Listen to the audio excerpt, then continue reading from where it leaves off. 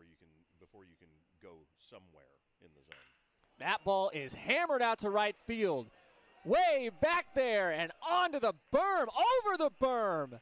An absolute bomb from Colson Montgomery and a quick 2 0 lead here for the Glendale Desert Dogs as their destruction of the Fall League continues early.